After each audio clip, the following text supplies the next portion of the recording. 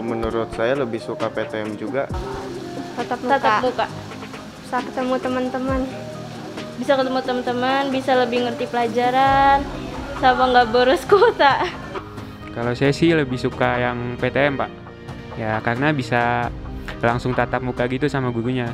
tatap muka karena bisa ketemu teman terus bisa keluar rumah sama lebih ngerti aja sih Saya lebih suka PTM karena eh, saya merasa lebih ngerti kalau misalnya diajarin langsung sama gurunya. tatap muka karena lebih efektif gitu belajar tatap muka bisa diskusi sekalian bareng teman Aku maunya PTM karena kalau misalkan PTM kita bisa ngerasain benar-benar sekolah. Enggak, kalau misalkan PJJ kan kadang ada yang belum mandi, kadang masih makan.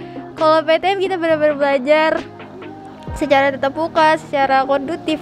Kalau menurut saya pribadi, saya lebih suka PTM. Uh, walaupun kita harus uh, repot-repot bawa masker segala macam, uh, buku atau apa pun, uh, dengan PTM ini kita lebih bisa berkomunikasi dengan guru dan juga bisa lebih mengerti pelajaran, Pak. Dari lebih ketimbang tiap hari Zoom meeting, karena kan juga belum tentu kita paham. PTM karena lebih untuk pengajarannya cara me- cara memahami em, pelajaran dari gurunya lebih jelas. tatap muka karena belajarnya lebih enak gitu daripada PJJ karena PJJ itu kayak bosenin gitu. Saya lebih suka tatap muka karena bisa ketemu teman-teman lebih pembelajaran lebih mantap gitu. Tatap muka karena bisa ketemu teman terus bisa keluar rumah sama lebih ngerti aja sih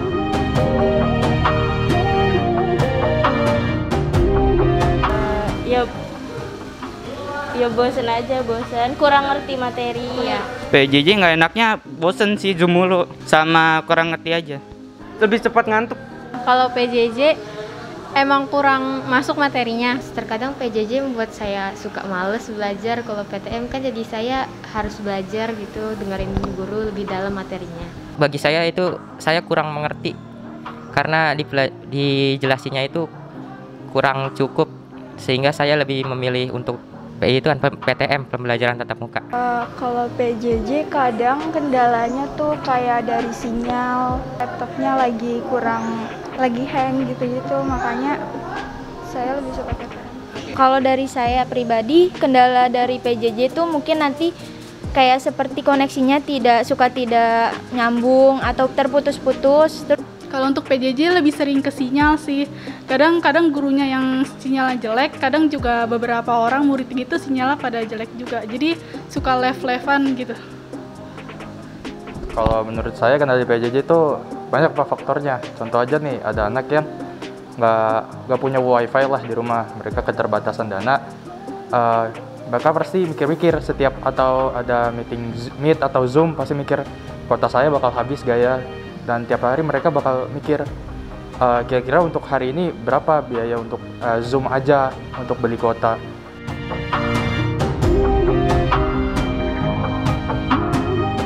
Semoga nanti bisa full sama satu kelas bareng-bareng gitu. harapannya semoga pandemi ini cepat hilang dan bisa melanjutkan kehidupan normal seperti biasanya Saya harapan saya biar COVID hilang, biar bisa sekolah dengan baik dan lancar.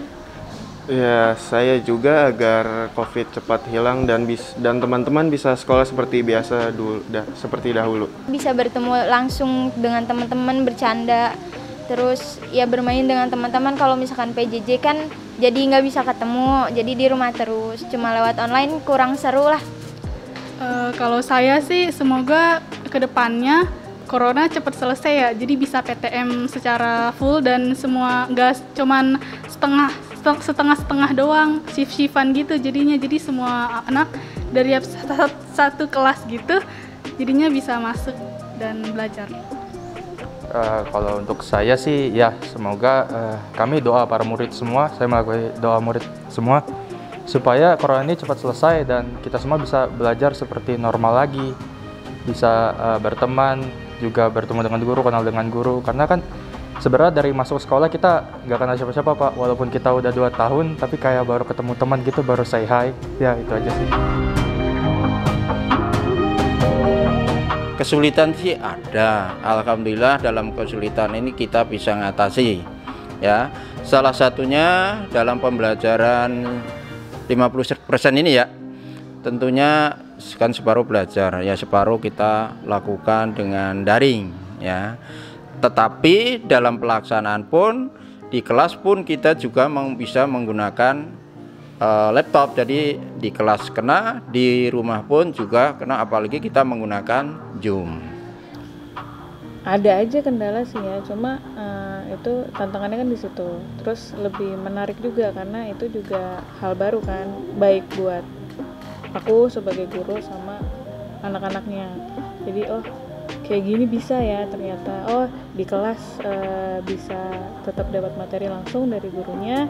Eh di rumah juga nggak ketinggalan di, di rumah juga tetap bisa ikut. Nah cuma kendalanya tuh kadang di teknisnya gitu kayak uh, nanti laptopnya lah ngeheng nanti ada koneksi internetnya lah yang tiba-tiba putus gitu. Yang kayak kayak gitu doang sih. Kalau kita memakai blended learning yang mana murid harus diberikan materi yang tentunya kadarnya itu berbeda dengan yang ditatap muka. Maksudnya yang di modul dan yang diterangkan secara langsung akan mendapatkan nilai kefahaman yang berbeda-beda. Jadi itu yang menurut saya sekiranya blended learning itu tidak efektif ya, tetapi mungkin menjadi model pembelajaran da- baru nanti di masa yang akan datang. Tinggal dievaluasi saja. harus memperhatikan yang di sekolah juga, kemudian juga harus memperhatikan yang di rumah juga. Nah, mungkin kendalanya di uh, perangkat uh, untuk melaksanakan kegiatannya, tapi uh, sampai saat ini sih, sampai saat ini uh, saya bisa mensiasatinya dengan dengan melakukan Zoom meeting bersama ketika uh, PTM baik di sekolah maupun di rumah. blended learning yang paling saya rasakan begitu ya tentunya dari media sendiri. Eh, kalau blended learning kan harus ada minimal webcam ketika memang untuk kita terpantau oleh siswa yang di rumah.